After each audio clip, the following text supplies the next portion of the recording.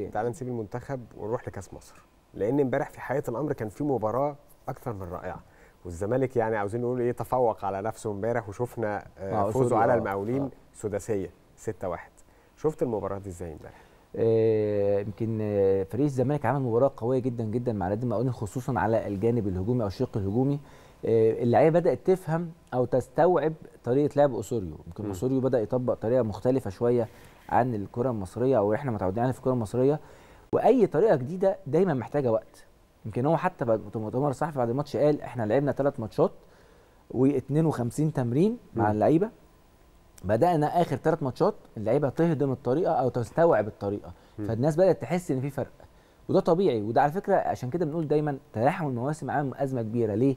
المدرب ما بيلحقش يجهز اللعيبة بتاعته على ال system اللي هيشتغل بيه طول السنة. اسوريو طبعا أول ما جه كان في تذبذب في النتائج والتعادلات خسارة إن الأداء مش حلو والناس حاسة إن الفرقة تايهة كان طبيعي.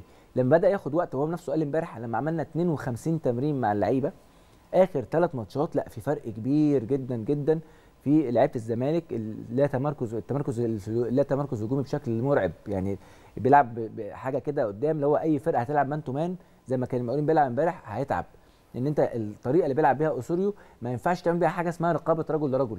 لا. هتعمل كل لاعب يمسك مكان معين اللاعب اللي يجي لك فيه ما تقدر تمسكه. لكن هو بيعمل لا مركزية بشكل قوي جدا جدا. ممكن تلاقي شيكابالا مهاجم تلاقي الجزيري جناح. ممكن تلاقي زيزو مهاجم تلاقي شيكابالا الناحية الثانية ففي علامة مركزية بتخلي الفرقه اللي قدامك متلخبطة مش عارف يمسك مين ويسيب مين. طب إيه اللي يوقف الطريقة دي؟ اللي هي برده زي ما لا مركزية في في الهجوم. هتخليك أنت في مركزية في الدفاع. يعني كل لاعب يلتزم بالمنطقة بتاعته. اللاعب اللي يجي لك استلمه وامسكه سواء كان مهاجم كان جناح مش فارقة. لكن هتمسك زيزو مثلا لا هتتعب. لك هتمسك زيزو هتمشي وراه هتسيب مساحة وراك هيستغلها شيكابالا أو يستغلها جزيري زي ما شفنا امبارح.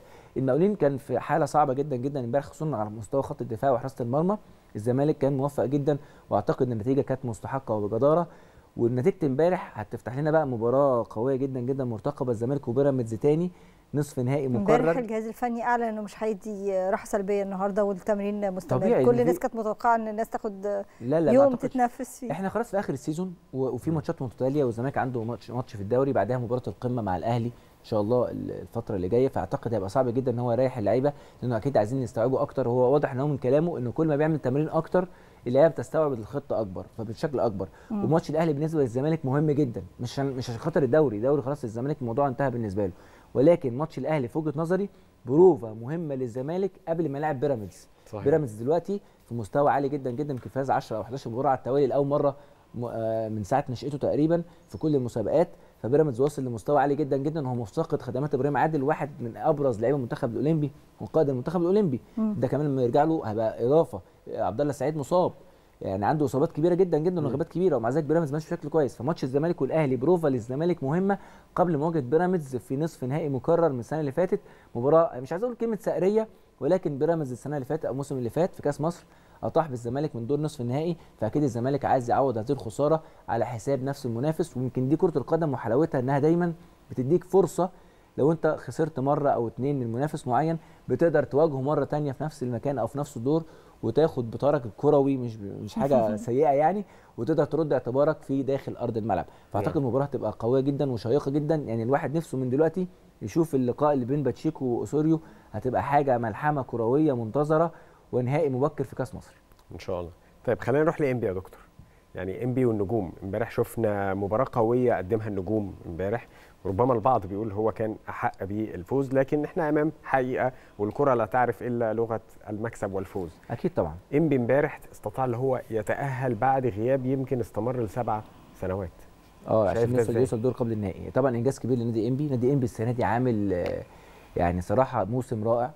وفقا لإمكانيات الفرقة وفقا إن الفرقة ما عملتش تدعيمات قوية ومطلع معظم الناشئين بتوعه وإنبي بدأ يحصد ثمار قطاع ناشئينه القوي.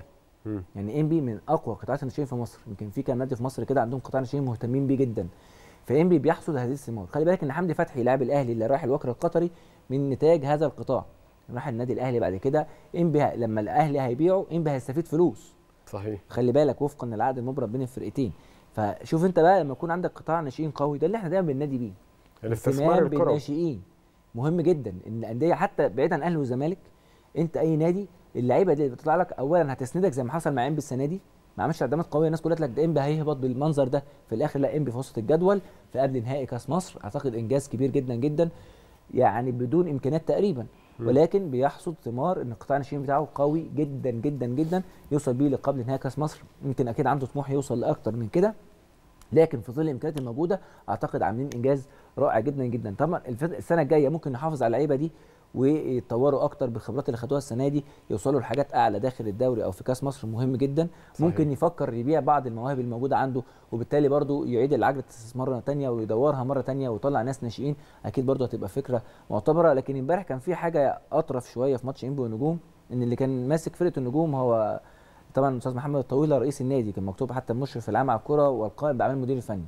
فيعني كان حاجة كده لطيفة جدا إن إحنا نلاقي رئيس النادي هو اللي بيقود الفرقة. كنا بنشوفها في الأفلام زمان بس واضح إن إحنا حولنا ال... يعني المفروض الواحد حولنا الدراما الحقيقة. الواقع تحول لدراما. لا إحنا حولنا الدراما إلى واقع. يعني الآية اتعكست وشفنا رئيس النادي هو اللي بيقود الفريق. وعلى فكرة يمكن هي على مستوى كأس مصر أو الناس تشوف التلفزيون ده جديد. يعني أو, تحس إنها أول مرة. لا هو حصل قبل كده كان نادي الزرقاء.